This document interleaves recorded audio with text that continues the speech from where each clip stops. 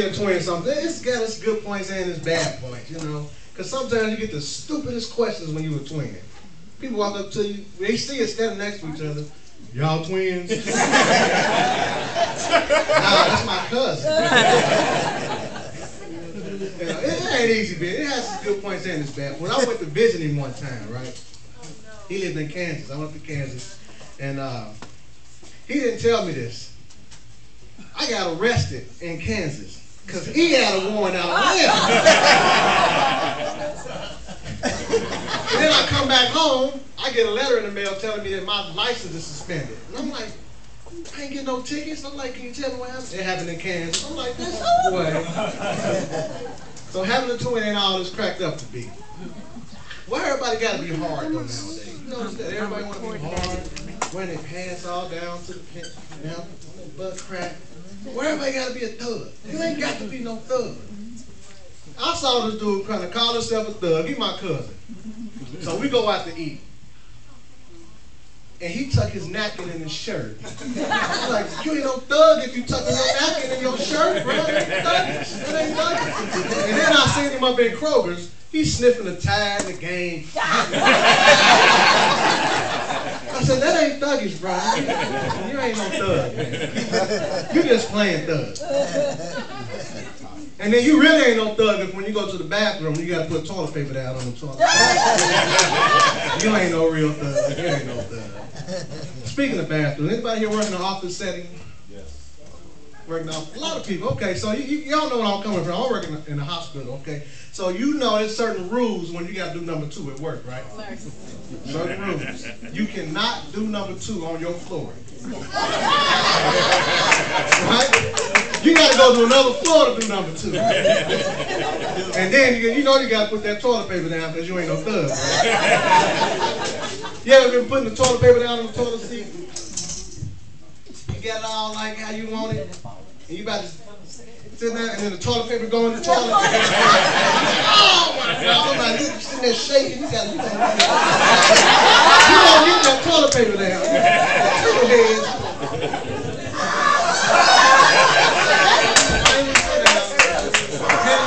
Now, is it just me? I just want to make sure that it's me. sometimes you just feel uncomfortable getting up with other people in the bathroom. You know, you ready to get up. As soon as you're ready to get up, somebody come in. and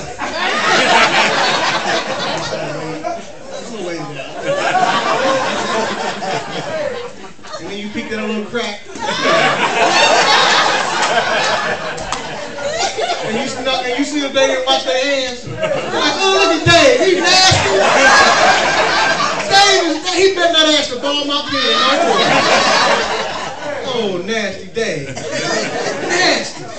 You know what about somebody just come and just sit down and don't put no toilet paper down? I was like, uh. I got somebody one day though, man. I went, I was washing my hands. Man, you know, you can't just shake everybody's hands. I'm like give people that nowadays. So I got it real. I washed my hands, but I didn't drown. As soon as I came out the bathroom, I was like, what's up, bro? What's up? And she can say, like, I got to wash my hands. I'm like, oh, man, what's wrong with you? That's nasty. That's nasty. You ever went in the bathroom and somebody already blew it up? you were washing your hands, and while you in were washing your hands, somebody else come in, they looking at you like you was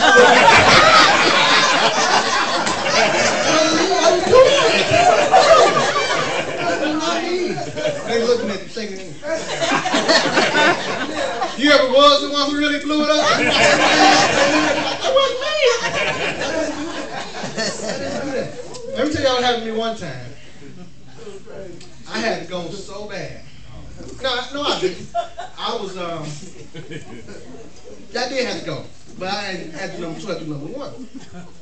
But I went in there. It was so bad. I had to go back there. I just peed on myself. Forget it. I'm not going. I'm just going. it was that bad. You ever walked in on somebody yeah. in the bathroom? You ever do that? That's embarrassing. That's embarrassing for both parties, ain't it? I don't know who's more embarrassed, the walker or the walkie. you know, and, and what happens as soon as you go in? You know, you're like, oh, I'm sorry, I'm sorry, I didn't see you in there. And they're like, oh, it's okay, it's okay. so this lady told me that, so I went on there and started washing my hands. I Went on to the cafeteria like I was going to. Oh, man. It's, it's fun going to work. What about when you go to church? I like going. Anybody here go to church? Amen. I go to church. I'm going to tell you, I ain't always been in church. I ain't always been saved. I used to be an atheist. Any atheists in here? Somebody said, oh. Let me tell y'all why I'm not an atheist no more. One time we was out on a, fishing trip. It was me, Calvin, and uh, yeah, see, that's why I ducking. Calvin, he was an atheist right with me. And it was our friend named Steve. We was all atheists, right? We was out on a fishing trip just admiring the, the beauty of uh, the Big Bang. Look at all this, the Big Bang, the evolution that got us all here. We just admiring. All of a sudden, a bear jump out. And so Calvin was the fastest, so he took off. I'm like, man, come on back, Calvin, come on, leave us. And then so it's me and Steve, we racing. I look at Steve. Steve look at me. Steve like, man, we ain't gonna be able to outrun this bear. I said, Steve, I ain't got to outrun the bear. I got to outrun you. so I outrun him, and the bear jump on Steve back. The bear about to kill him. Bear like, all of a sudden, Steve was like, Lord, Lord, oh God, oh God. Everything freeze. Clouds part, a voice from heaven. You called my son? And Steve like, oh God, you're real? Me and Calvin like, he's real. And then all of a sudden he said, God, I, it would be hypocritical of you to, to save me, so can you do me a favor and make this bear Christian? God said, it is done, my son. All of a sudden the bear's like, thank you, Lord, for this food. Ever since that day, me and Calvin been saved. I to Steve, man. You been saved, Holy Ghost filled. I don't know. How much time I got? How much time I got? I'm running time. Okay, let me tell you all. There's a few things happen in church that I don't like. I don't like lying in church. There's a lot of lying going on in church, especially up in the pulpit. Any pastors in here? You got a few pastors? Okay. You're a pastor, don't lie. Don't get up there and say, I ain't to be before you long today. Especially if you know you're going to win. Don't do that. Don't do that. And then, and on the other end, don't get up here and say, I'm about to close, I'm about to close. I'm closing my Bible, I'm about to close. But then you pull out an iPad and keep going. don't do that. Don't do that. There's some, there's some, other, some other lines from the congregation, too. You know, everybody fat falling out, you know, passing laying hands on you, everybody falling out, falling out. Quit faking, y'all. If the spirit ain't hit you, don't go down. This is serious. Don't be faking. Don't play with God like that. And let me tell y'all what happened to me one time. Dude was laying hands, and I wasn't going down. I mean, he was laying hands hard. He was, I was bracing myself. I ain't going down, bro. I ain't going down. he said, and then he got real close to my ear and whispered.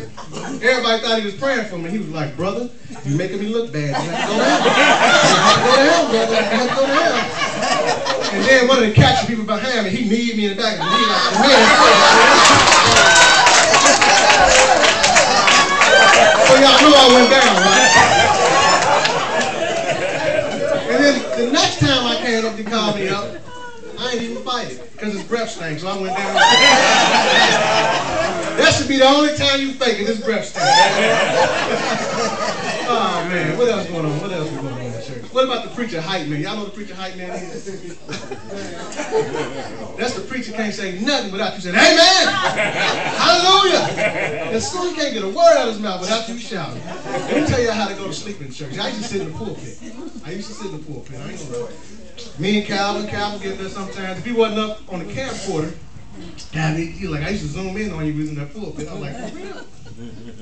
It's etiquette to fall asleep in the pulpit. I know you got them big old chairs like way over here. Okay. So you sit, put the Bible on your lap. But you gotta open up to the 23rd Psalm or something. Open it up.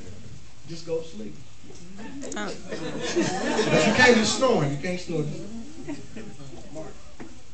And then when you wake up and realize that you fell asleep, you can't just get up. You got to turn the pages on the Bible. it, make it like you was reading. You ever been sleeping, just been startled, just startled real quick? That happened to me one time. I was sleeping, turning the pages. Like, hallelujah! Hallelujah! he looked at me like, brother, what are you talking about? Ah, man, let me talk about one more thing and I'm going to get out of here, man. Because I am hungry. They say they got food in the back, but I'm hungry. I've been on the fast, y'all. I've been fasting for the last 20, 21 minutes. I am hungry, but y'all gotta stop cheating on y'all fast, okay? The fast is 6 to 6. That don't mean you wake up at 4.30 and cook the biggest breakfast in the world. that don't mean that. You know, and then you sit down eating your food real quick. And you count down the time. I only got 20 seconds left. You gotta help me this. and then, you know, when you get home, you start cooking at like 5.30. it's like 5.58, 20 seconds left. You sit there. 20 seconds. Then you start praying. Lord, thank you for this food. Amen. I hope that wasn't just me. I hope that wasn't just me. Amen. I thank you for my time. My name is JB. That's the ugly twin. I bring it back up. Come on, brother. JB. I'm right, Y'all know he wasn't lying about the twin thing. I ain't, he ain't tell y'all what he did to me when he got out of jail. He went down, uh, this was on a Friday night. The next morning, him and my friend uh, got up and went to Walmart. Right? You know, he's in a small city. He's in suburban Kansas City. And he was down in Walmart. Oh. And, you know, if you only got one Walmart in the whole city, that's where everybody goes. Everybody go to one Walmart. So he go in Walmart, and he seeing people I know. And they thinking he me.